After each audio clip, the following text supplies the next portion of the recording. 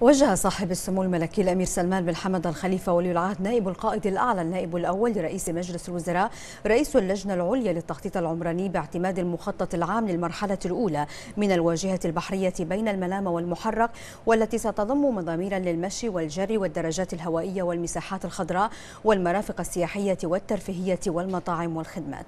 ووجه سمو إلى البدء بالعمل على المخططات التفصيلية للمرحلة الأولى من الواجهة البحرية التي تمتد بين الجفير كورنيش الملك فيصل بمسافة تبلغ 14 كيلومترا.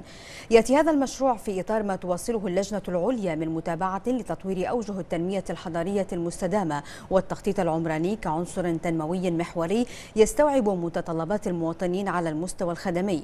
وذلك في إطار مسيرة التنمية الشاملة التي أرسى أركانها حضرة صاحب الجلالة الملك حمد بن عيسى الخليفة أهل البلاد المفدى حفظه الله ورعاه وما عززته من مبادئ الاستدامة. كما يأتي مشروع الواجهة الواجهة البحرية ضمن أولويات اللجنة العليا للتخطيط العمراني برئاسة سموه كإحدى وسائل تعزيز التوازن العمراني عبر إيجاد المزيد من المساحات العامة لتكون متنفسا للمواطنين والمقيمين. خاصة وأن البحر مرتبط ارتباطا قويا بهوية المجتمع البحريني منذ القدم.